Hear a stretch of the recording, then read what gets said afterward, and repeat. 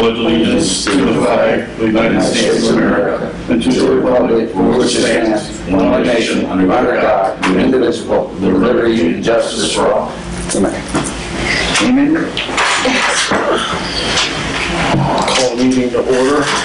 Uh, Commissioner Kraus, I do want present. Commissioner Simmons, present. and Commissioner Matsky, present. We have a quorum. I make a motion to approve the meeting, or the uh, minutes of the uh, October meeting. Second. All in favor? Aye.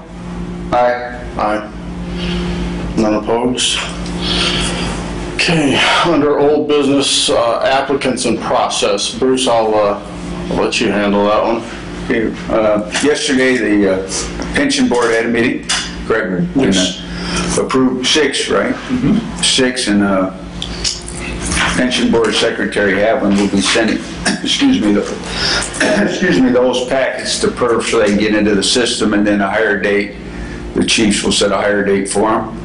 And we have three more, which I have to submit to Secretary Havlin for uh, the PERF physical and psychological evaluation that'll be done today or tomorrow. So he can get three more down. And then we're gonna have to set a testing date.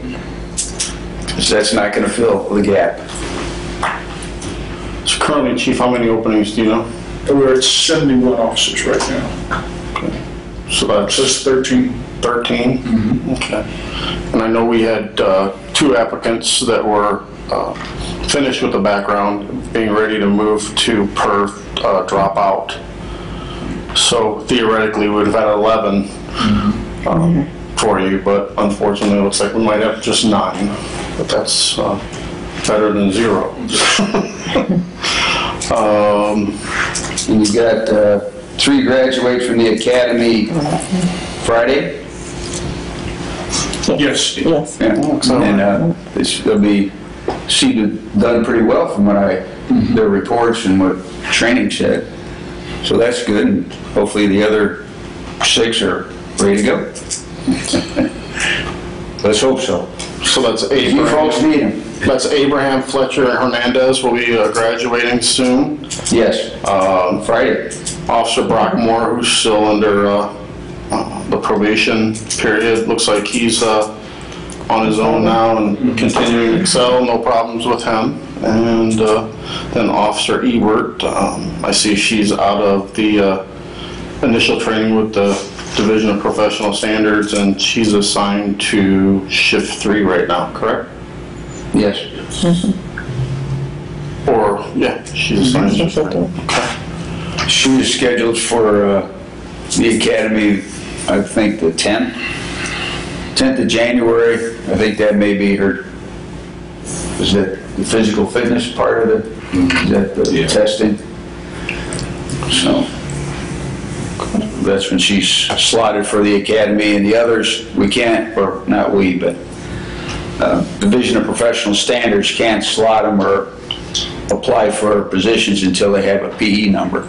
So once they get hired, then they'll get them in there.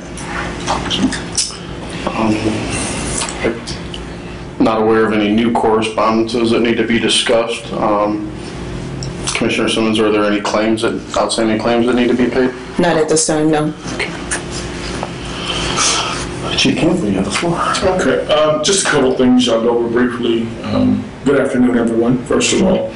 Um, We went through uh, uh, s- s- our, some of our um, supervisors and the administrative team, went through an officer-involved shooting training uh, where we sat together and and viewed um, some of the latest training. And then afterward, we had Al Williamson come in and talk about uh, some of the state police policies and procedures, because if that ever happened here, um, he would, the state police would come in and um, basically oversee that process. Um, Our goal now is to, after receiving this training, to go back and look at our policy, compared to what the state police policy is, look at it, see if we can make some changes. And then the same training that we went through, we want to filter that down to our supervisors uh, with the goal of implementing it into supervisors' training on a yearly basis. So I think that that's a good thing, you know, in the day and age we live in. It's just good to have everybody up to speed on par and really know what they need to do if something like that would occur for us. Um, Really happy with um, some of our patrols here lately.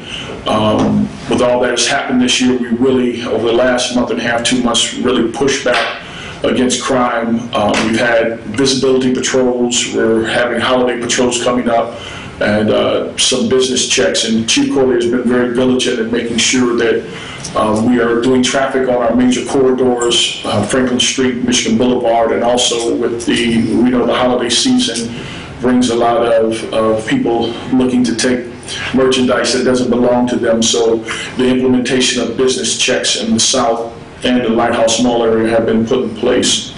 Um, I know there's a lot on social media about some threats at Michigan City High School. Someone has written uh, some things on a bathroom wall, and whether it's real or perceived, we take every threat um, very seriously, and just want the public to know that we are working diligently with the Michigan City area schools to keep our schools safe. Uh, Those type of things happen, you know, several times a year, but you always have to take them serious. But we're doing everything that we can to put uh, things in place to make sure that the staff and school are are safe there. Um, Also happy to talk about our Bridge to Manhood program. Uh, We were funded for two more sessions, which will be December 4th and 11th, and uh, we're going to have some of the city's juveniles.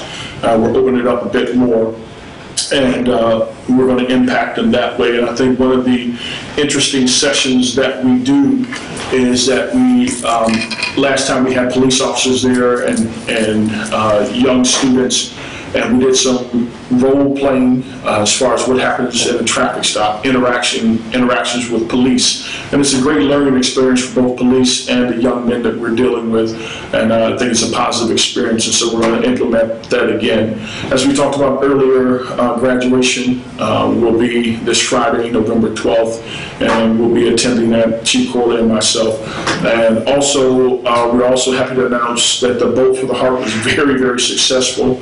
Um, That was on October 31st. We had over 400 participants there, and that ended up with us obtaining 69 AEDs. Our goal was 81, which was pretty lofty, but we ended up with 69, and so we're well on our goals. And the the event was very good because it brought together uh, different first responders, uh, members of the community, and uh, we were able to interact effectively. And it was just, the, the energy there was unbelievable. It was just a very good time. We actually had participants from our department who ran, and some of the out, outfits they wore were outlandish, but it was a good spirit of the community. We really, really had a great time, and it was just a good event. And uh, we're very thankful for the organizers of Boat for the Heart and the job that they did. So I don't have anything else. Um, I, I do have one question. I, how, I understand you guys had a, uh, a Citizens Police Academy recently as well? Yes, it's still ongoing. Is it still on? Still ongoing. Good, good. and they'll be graduating here soon. So, And yeah, they, they, uh, Sergeant Forker and um, King do a really good job with that, Um, and and they do eat well. They have spread. I I- I understand well is well attended, because they, they they cut no corners, and it's just a good time. It's, it's great for us. I actually was there at the last one and had an opportunity to talk, and it's good for citizens to actually be able to see what we do, and it changes their perspectives. And then one of the things that I challenge them is whenever you see these false narratives created, that you advocate for us because of what you know and understand. They went through VirTra um, recently, and being put in positions, uh, as uh, you well know, and those split-second situations where you have to make decisions, it really changed their perspective on what we had to do, and, and and it's very, very effective. So we're grateful for the job that they're doing. They're doing a really good job. Awesome. Chief Ashley? Nothing, thank you. Nothing today? Okay. Chief Corley? Just wanted to congratulate uh, Sergeant Kaplan on receiving, on completing 30 years of service here at the Michigan City Police Department. Uh, November 4th was his 30-year anniversary, and then also want to pre-congratulate um, Corporal Kraus and Officer Hinder, Charles Henderson. They will complete 25 years tomorrow on October, I mean, November 11th. So, Damn.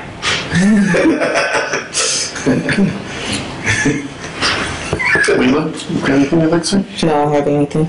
Bruce? Sorry about that. Yeah. Yeah, congratulations, like- Chief Corley said, uh, Corporal Kraus and Officer Henderson, can't believe it's been 25 years. I do have a picture when they were sworn in, they look a little different now. Pop that up on, so, on the website here. And uh, congratulations, just want to, or I want to thank all the men and women of the police department, from the chief, the administration down, uh, done a heck of a job this year, the last couple of years.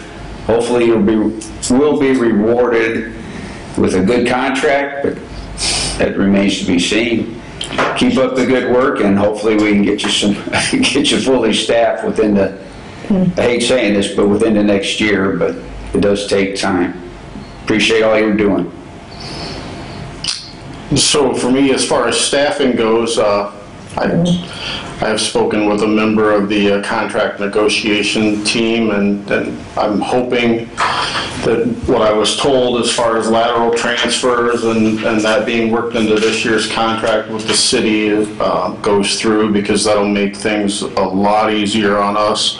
Um, Once, if that does go through, then we'll have to do some, uh, some changing of our rules and obviously of our hiring procedures for officers from other agencies for lateral transfers, but we'll get that worked out. We'll obviously work with the administration on that. Um, I don't really have anything else other than that. Uh, I know that uh, Attorney Watterson got stuck in court today, so he couldn't be here. Um, I see only one member of the uh, FOP here, and he's made it clear that he doesn't want to say anything, so we don't have any comments from him, from the public. Commissioner Master, I don't know if you want, want me to officially go over, this is from Sergeant Forker, I know you guys kind of touched it, but if not, Yeah, I thi- I think we mentioned everything in there, with, uh, by name, and yeah, specifically by name too, so. um, So our next meeting will be December the 8th, uh, here in this room at 11 a.m. And uh, I make a motion to adjourn the meeting. Second? All those in favor? Aye. Opposed, none. Okay, see everybody next month. Thank you. Thank you, guys.